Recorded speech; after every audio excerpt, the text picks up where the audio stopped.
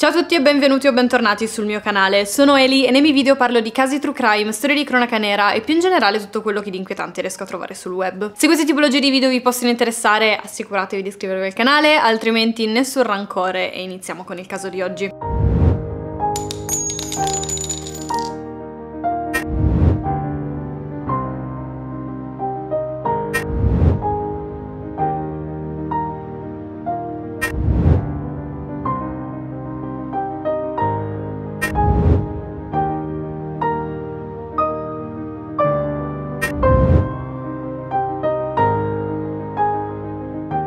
Per il caso di oggi ci troviamo in Indiana, più precisamente nella contea di Kosciusko. Nella zona più a nord di questa contea c'è anche un piccolo comune di circa 1000 abitanti chiamato North Webster. Questo comune si trova proprio al centro di un'area nell'Indiana conosciuta anche come regione dei laghi, ovviamente per la quantità di laghi medio-piccoli che si trovano nella zona. E infatti North Webster si affaccia proprio su uno dei laghi più grandi di quest'area che prende il nome proprio dalla città. La nostra storia in realtà inizia negli anni 70, quindi eh, contate che North Webster era comunque, cioè lo è anche adesso una città piccola, però al tempo era ancora più piccola, contava sui 500 abitanti, era più o meno la metà di quello che è adesso. Quindi potete immaginare la tranquillità sia adesso che a maggior ragione al tempo di questa zona, si conoscevano praticamente tutti, i bambini, i figli delle varie famiglie crescevano insieme, giocando insieme, anzi erano un po' tutti abituati fin da piccoli, anche i bambini, ad andare a giocare con il vicino o in varie zone di questo piccolo comune comune, da soli senza la supervisione degli adulti. Tra queste famiglie nel 1975 c'erano anche i Mitchell. I genitori, Richard e Woma, si erano sposati da giovanissimi e avevano da subito iniziato ad allargare la famiglia. La primogenita la chiamarono Laurel e nacque il 24 maggio del 1958. E negli anni a venire la famiglia Mitchell si allargò ancora di più, prima con Sara e poi con il figlio più piccolo, Bruce. I tre fratelli crebbero proprio a North Webster, quindi come vi dicevo prima, sicuramente in un contesto molto sereno, giocando giocando con i vari bambini, i vari ragazzini della comunità in totale assenza diciamo di supervisione dagli adulti. Crebbero in una maniera davvero serena, avevano una famiglia che li adorava, tanti amici, non avevano mai avuto problemi economici, non era mancato mai niente a nessuno di loro crescendo. E così arriviamo appunto al 1975, in quell'anno Laurel aveva 17 anni ed era all'ultimo anno del liceo. Era una ragazza che si dava decisamente da fare, infatti aveva trovato un lavoretto in un bar di di North Webster, un bar che si trovava di fianco alla chiesa che frequentavano eh, con la famiglia. Era un bar in una posizione abbastanza strategica perché era sì vicino alla chiesa e quindi ovviamente dopo tutte le cerimonie era un po' un punto di ritrovo per i fedeli, ma anche per tutte le altre persone, anche persone che non frequentavano la chiesa perché si affacciava sul lago, quel lago di cui vi parlavo prima, e si trovava in un punto attrezzato, quindi di conseguenza frequentato da moltissime persone che facevano una passeggiata o volevano passare del tempo all'aperto. Parlando della chiesa, chiesa, i Mitchell erano anche una famiglia religiosa, infatti Laurel aveva anche iniziato a far parte del coro della chiesa. Con questo coro praticamente si esercitava una volta a settimana ed erano anche abbastanza conosciuti come coro della chiesa perché andavano, tra virgolette, in tournée nelle varie città vicine a cantare a spettacoli o altri eventi in altre chiese. Addirittura a un certo punto avevano inciso un album e ovviamente tutti i ricavati delle loro performance o delle vendite di questo album andavano andavano alla chiesa. Questo per dirvi comunque che per quanto North Webster sicuramente fosse una comunità piccolina, questo per dirvi che comunque quella zona Lore la conosceva benissimo, ovviamente non che North Webster fosse questa città enorme, conosceva un po' tutta North Webster, chiaramente essendo nata lì, però quella zona in particolare era una zona che frequentava spessissimo. L'estate di Laurel di quell'anno iniziò assolutamente in modo tranquillo e sereno, tra compiti delle vacanze in casa, amici, appunto frequentazioni della chiesa, chiesa e lavoro al bar sembrava tutto tranquillo. E il 6 agosto inizia come una giornata fra tante. La mattina lei e i suoi fratelli la passano a casa a fare i compiti delle vacanze. Nel pomeriggio invece Laurel aveva un turno al bar. Esce di casa verso le 14, saluta i suoi genitori e si avvia. Arriva al lavoro puntuale come sempre, svolge il suo turno che termina verso le 22 di sera. Quella sera aveva in programma di vedersi con alcuni suoi amici in una sorta di parco di divertimenti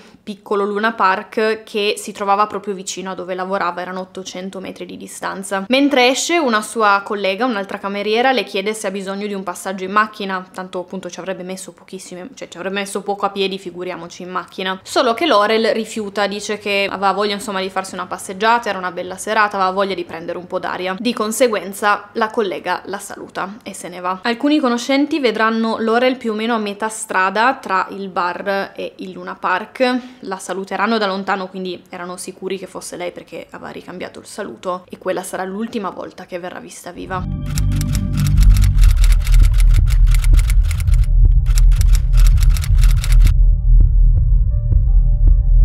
Suoi amici ovviamente la stavano già aspettando al parco, passano un po' di minuti, Laurel non arriva, già cosa strana perché era una persona molto precisa, raramente era in ritardo. In ogni caso l'aspetteranno per i 40 minuti successivi, dopodiché decisero di cambiare posto, diciamo, per passare del tempo insieme. E questi amici non si preoccupano perché chiaramente al tempo non, non è che si utilizzavano i cellulari così, quindi diciamo che se una persona doveva uscire con qualcuno e poi per qualche motivo cambiava idea, si sentiva male, oppure non so, decideva di fare qualcos'altro, non è che si mandava un messaggio, si avvisava guardate che non vengo perché le persone non avevano i cellulari, quindi magari adesso ci fa sembrare strano che questi amici non si sono preoccupati, però c'è da tenere in considerazione che non era così raro che se qualcuno aveva un contrattempo o cambiava idea non avvisasse ovviamente le, le persone che erano lì ad aspettare. Quindi questo gruppo di amici decide di spostarsi un po' più in là, passano la loro serata senza preoccuparsi di quello che era accaduto a Laurel. Infatti in realtà passeranno un po' di ore prima che qualcuno si renderà conto che c'era qualcosa che non andava e se ne resero conto i genitori della ragazza che a mezzanotte, che era anche il coprifuoco che avevano dato a loro figlia, famiglia. Non la videro arrivare e si preoccuparono da mezzanotte 02 praticamente perché come vi dicevo Lorel era una ragazza molto precisa soprattutto con orari insomma scadenze cose del genere. Non aveva mai fatto una volta in ritardo al suo coprifuoco. Quindi iniziano a preoccuparsi e pensano di fare una cosa perché come vi dicevo lì i figli delle, delle famiglie si conoscevano tutti facevano tutti parte di questo gruppo di amici che usciva insieme quindi pensano bene di andare dalla famiglia che abitava di fianco loro che aveva avevano un ragazzo più o meno dell'età di Laurel che solitamente usciva con lei per chiedere se il ragazzo fosse arrivato e se sapesse come mai stava tardando loro figlia. Quando arrivano a casa dei vicini, eh, il figlio dei vicini è già a casa e non solo vedono che è già a casa, ma quando gli chiedono che fine ha fatto Laurel, questo ragazzo li informa del fatto che non si era mai presentata all'appuntamento e che pensavano magari si fosse sentita male o avesse cambiato idea e fosse tornata a casa. A questo punto chiaramente scatta la preoccupazione non solo dei genitori di Laurel, Laurel ma anche un po' dei vicini delle persone che li conoscevano. Nell'ora successiva contatteranno telefonicamente praticamente ogni persona che conoscevano Webster, ogni persona che aveva un figlio, una figlia che solitamente usciva con Laurel. Nonostante gli sforzi però assolutamente nessuno aveva idea di dove fosse. Quindi dopo aver controllato e sentito ogni persona possibile, non rimane nient'altro se non chiamare la polizia. E fortunatamente la polizia prese subito seriamente questa scomparsa, non partirono con la classica cosa a 17 anni sarà scappata di casa, non vi preoccupate, prima o poi torna. No, partono subito all'azione e infatti le ricerche vengono organizzate praticamente da subito, cioè da appena viene denunciata la scomparsa di Laurel. A queste ricerche ovviamente partecipano non solo eh, i familiari, i conoscenti, parenti di Laurel ma anche tutte le persone che facevano parte di quella comunità. La cercheranno per tutta la notte e alcune persone anche, eh, compresa ovviamente la famiglia, per le ore successive alle prime ore del mattino, ma non troveranno assolutamente niente. La zona che fu il fulcro di queste prime ricerche era proprio quella zona che separava il bar dove eh, lavorava Laurel e quel parco divertimenti dove si sarebbe dovuto incontrare con i suoi amici. Alle dieci e mezza del mattino le ricerche erano ripartite partito ufficialmente con tutte le persone, non solo i familiari. E mentre un sacco di persone la stavano cercando, ad alcuni chilometri di distanza da North Webster, ma sempre sulle sponde di quel lago da cui prende il nome la città, un signore si trova sulla riva di questo lago insieme a suo figlio e erano lì perché stavano pescando. Tutto tranquillo, tutto bene, fino a quando questo signore vede qualcosa nell'acqua,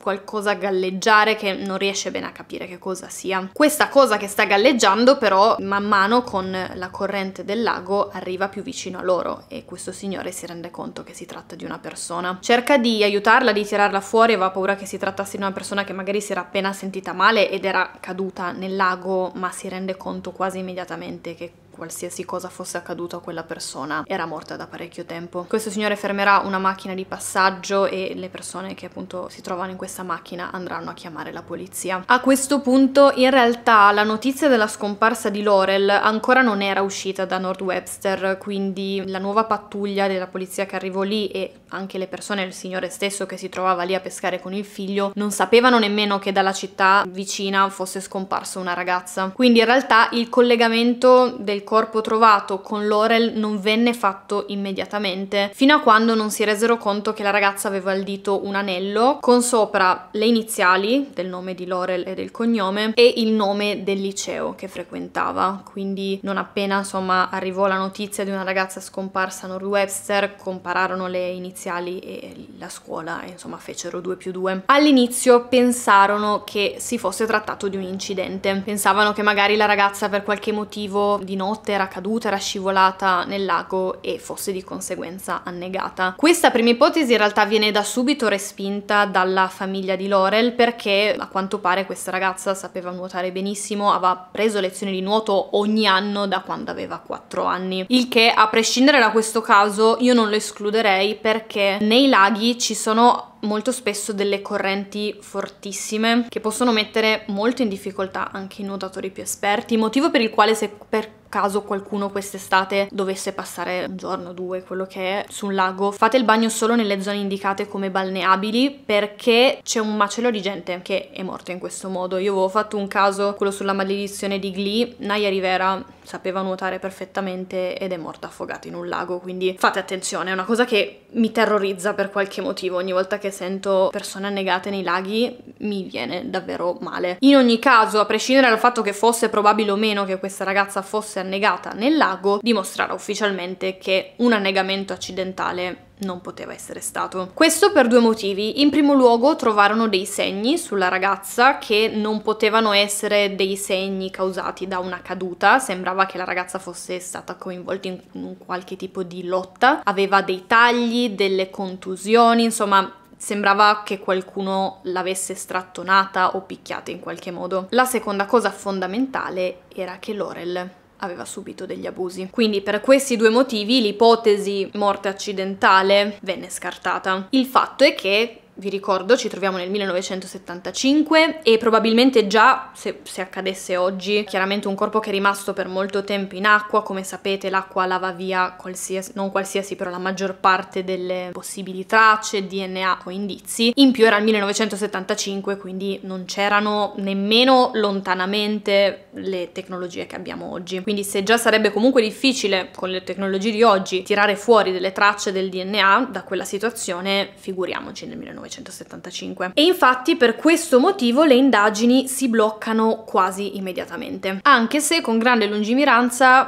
presero tutti tutte le, le, le, prove che avevano a quel punto, quindi i vestiti, le scarpe, la biancheria intima, l'anello, insomma tu, tutte le cose che aveva addosso quella sera Laurel e le conservarono nella speranza di poter rianalizzare quelle cose con delle tecnologie future. E così si tengono i funerali di Laurel. Tra l'altro ai funerali partecipò davvero tantissima gente, non parteciparono solo persone della comunità o comunque persone che la conoscevano, ma anche da un po' tutte le città vicine. Tanto che la chiesa era strapiena ed era pieno di persone che aspettavano fuori perché non, non ci stavano fisicamente. Le indagini da qua in poi procederanno a singhiozzi per tantissimi anni.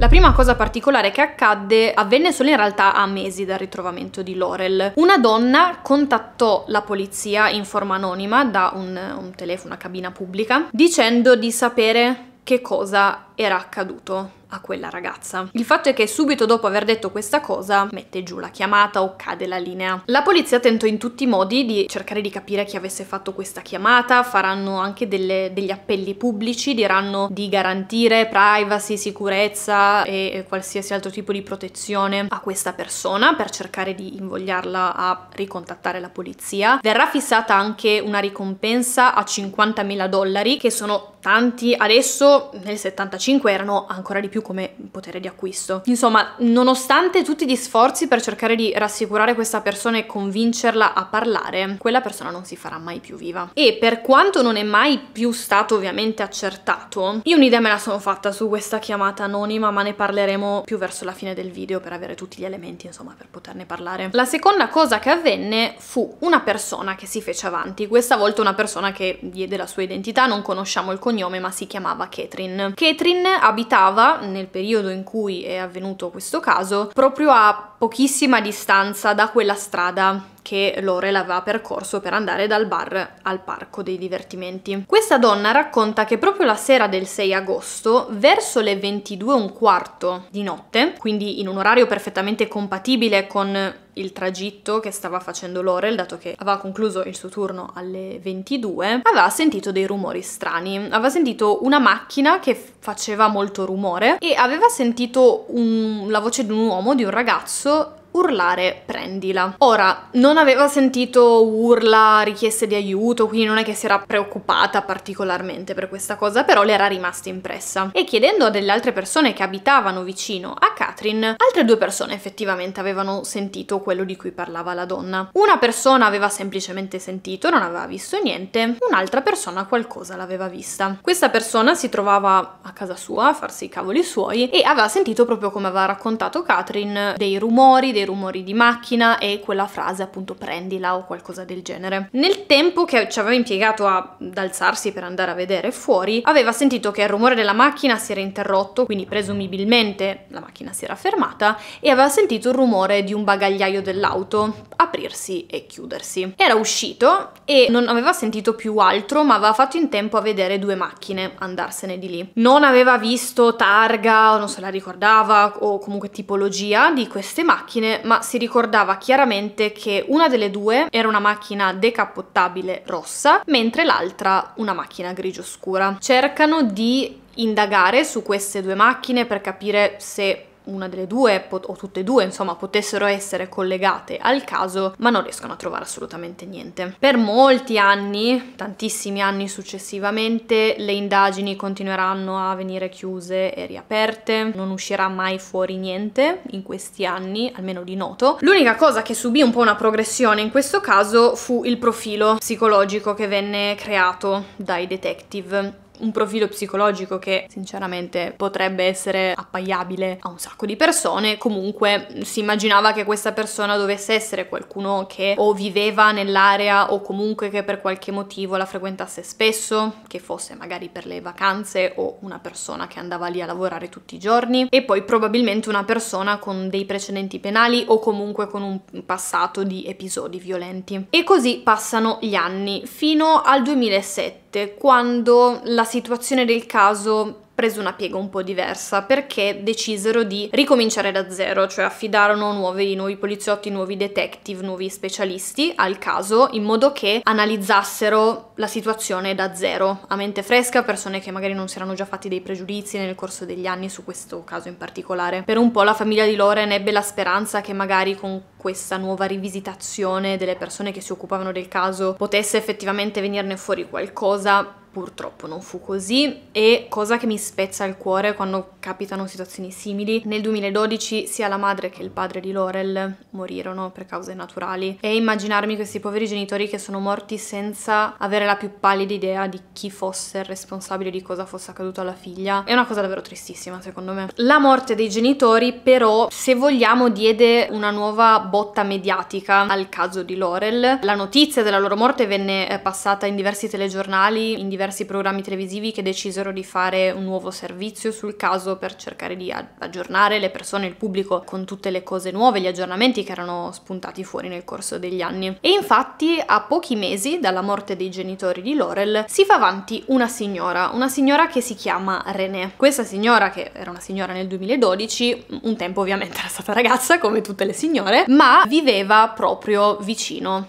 a Northwester e nel 1975 aveva più o meno l'età di, di Laurel perché aveva 16 anni. Racconta alla polizia che al tempo, nel 1975, lo, la stessa estate in cui era avvenuto l'omicidio di Laurel, usciva con un ragazzo di nome John Wayne. Questo John Wayne le aveva parlato, insomma erano usciti un paio di volte, una sera in particolare decidono di andare a una festa. Al ritorno di questa festa John la riaccompagna a casa in auto, probabilmente per il fatto, confessa questa stessa René, che aveva bevuto un po', inizia ad aprirsi con lei, le racconta un po' di esperienze passate. E tra le cose che le racconta, le racconta che quella stessa estate lui e un suo amico avevano aggredito e ucciso una ragazza. Non verrà fatto il nome di Laurel in quella sera in particolare però le aveva raccontato tutta una serie di dettagli che combaciavano con eh, le evidenze che erano state ritrovate poi su Laurel, cioè che era stata picchiata, che era stata affogata evidentemente fisicamente, che era stata abusata. E al tempo René non aveva avuto il minimo dubbio che quello che le stesse raccontando John fosse la verità per questa estrema cura nei dettagli, nei particolari che aveva nel raccontargli quello che era successo e per questo motivo rimase talmente terrorizzata da questa informazione che negli anni successivi non dirà assolutamente niente fino al 2012. Cosa che per carità possiamo parlarne quanto volete, discutibile, probabilmente sì, meno male che prima o tardi insomma ha parlato. Da quel momento in poi, poi lei ovviamente non aveva più visto né sentito questo John, si era tenuta più distante possibile da lui, insomma le loro strade non si erano mai più rincrociate. La polizia chiede a René se si ricordava il nome di questo altro amico che aveva coinvolto John, cioè gli aveva detto io e un altro amico, e lei disse di ricordarsi, non si ricordava perfettamente nome e cognome completi, si ricordava che il nome era Fred e poi inizia a provare un po' a dire, iniziava con la B, sembrava Bounty, Bounty e poi arriva a Bundy. E dice con abbastanza certezza che la seconda persona, l'amico di cui le aveva parlato John, era Fred Bundy. Allo spuntare di questo nome, la polizia fa un'indagine e viene fuori che in realtà quel Fred Bundy era già spuntato in una situazione molto molto simile. Infatti, anni prima, nel 1982, un ragazzo di nome Bill era andato alla polizia per dire una cosa in realtà estremamente simile a quella raccontata da René. Aveva raccontato con suo conoscente, un certo Fred Bundy Jr., gli aveva raccontato di essere coinvolto nell'aggressione di una ragazza. Di nuovo non erano stati fatti nomi, non era andato particolarmente nei dettagli sul posto dove, però gli aveva raccontato esattamente quello che aveva raccontato John a René, ovvero che era insieme a un suo amico, che avevano aggredito questa ragazza, l'avevano picchiata, avevano abusato di lei e poi l'avevano uccisa. E all'epoca, nell'82, quella segnalazione, quella denuncia che aveva fatto questo Bill era finita un po' nel dimenticatoio. Da un lato perché non era stata correlata alla situazione, cioè al caso di Laurel, ma dall'altro anche perché chiaramente una persona che racconta per sentito dire non è una prova schiacciante per accusare qualcuno. Ora però c'erano due persone che avevano raccontato delle cose che potevano potenzialmente combaciare, cioè quel John Wayne che aveva detto che lui e un suo amico, Fred Bundy, avevano fatto quella cosa e Fred Bundy che racconta che era successa la stessa cosa con un amico, non fa il nome di John, però racconta una cosa molto molto simile. Ora, per un motivo che non sono riuscita a estrapolare dalle fonti online, le indagini nel confronto di queste due persone rimarranno in pausa per moltissimo tempo. Penso perché di nuovo, con solo parole si può fare poco, non sono prove di colpevolezza di nessun tipo, chiaramente. Magari non c'erano abbastanza prove per poter solo anche iniziare legalmente un'indagine. Non lo so, non, non, è ben chiaro come mai c'è questo gap di un bel po' di anni da quando René si fa avanti e iniziano a fare 2 più 2 a quando prenderanno effettivamente dei provvedimenti nelle indagini nei loro confronti. Dobbiamo infatti fare un salto fino al 2019, quando in quegli anni, eh, in realtà ne avevamo già parlato in un altro caso che è stato risolto anche quello ad anni e anni di distanza, sono arrivate delle nuove tecnologie per lo studio del DNA, delle tracce di DNA, quindi in ambito proprio forense forense. E in particolare arriva questa nuova tecnologia che è stata fondamentale per la risoluzione di un sacco di altri casi, che permette, in, in parole proprio spicciole per niente scientifiche, di estrapolare una traccia di DNA anche microscopica piccolissima e con un processo ovviamente, io adesso la faccio facile, però molto lungo, molto complesso, ricostruire un DNA per avere una traccia il più completa possibile da poter comparare a qualcuno. E per questo motivo, con l'arrivo di questa tecnologia, nel 2019 decidono di testare tutti quei vestiti, le scarpe, la biancheria intima, l'anello, insomma tutto quello che aveva addosso Laurel per cercare di vedere se a quel punto, dopo così tanti anni, questa nuova tecnologia fosse in grado di estrapolare un DNA. E dal 2019 dovrà passare quasi un anno, nel febbraio del 2020, quando finalmente dopo mesi e mesi di lavoro su quegli indumenti di Laurel riuscirono a tirar fuori un DNA quasi completo. Quindi finalmente dopo così tanti anni hanno un campione da poter comparare a qualcuno e infatti la prima persona che chiamano a questo punto fu proprio Fred Bundy. Fred inizialmente non vuole dare un campione di saliva e come immagino già sapete non è obbligatorio dare campioni in un'indagine a meno che non ci siano abbastanza prove per cui la polizia riesce a procurarsi un mandato, un ordine per prelevarti anche a forza un campione di DNA. Quindi di fatto dovranno tirare su un caso, un vero e proprio caso con eh, tutto quello che sapevano fino a quel punto, tutte le possibili prove, testimonianze, eccetera, che portassero nella sua direzione. Il mandato riescono a ottenerlo finalmente nel 2022. Le analisi richiederanno in realtà un macello di tempo per comparare il campione di saliva prelevato da Fred a quello trovato e diciamo estrapolato da quelle analisi, semplicemente perché come vi dicevo questo campione era tipo all'80%, non era proprio al 100%, dovettero lavorarlo ulteriormente per poterlo comparare a quello di Fred, ma finalmente nel 2023 arriveranno i risultati di queste analisi ed era un match completo. E così Fred viene arrestato. E viene fuori che questo Fred non era proprio una meraviglia di persona perché negli anni in passato era stato arrestato ben tre volte e tutte e tre le volte per molestie nei confronti di alcuni bambini. La condanna più grave che si era presa da una di queste tre molestie erano stati sei anni che aveva scontato, poi era uscito tranquillamente. A questo punto si concentrano chiaramente anche su John. Su John il problema è che non c'è, mentre la traccia di DNA di Fred c'è, quindi eh, voglio dire una prova abbastanza schiacciante. Di John non hanno trovato niente su questi vestiti, su questi indumenti, però Fred non si fece problemi a coinvolgere subito il suo ex amico John. In più, proprio John nell'agosto del 1975 guidava una macchina decappottabile rossa come quella che aveva visto uno dei testimoni. Quindi vengono arrestati entrambi a 48, quasi 48 anni dall'omicidio di Laurel, che è una cosa assurda ed è bellissimo, tra virgolette, da un lato, con il passare degli anni, vedere sempre più casi che sono rimasti aperti per tantissimi anni, finalmente venire risolti grazie al progresso, chiaramente alle nuove tecnologie che nascono praticamente ogni anno. La data del processo deve ancora essere fissata, vedremo cosa, cosa uscirà fuori da questo processo. Per Fred chiaramente non, non, è che ci sono chance, cioè voglio dire potrebbe si firmare un patteggiamento, ma eh, a questo punto hanno entrambi 67 anni, quindi anche anche un patteggiamento con tutta la, la, buona volontà del mondo e scontando un bel po' di anni da un, una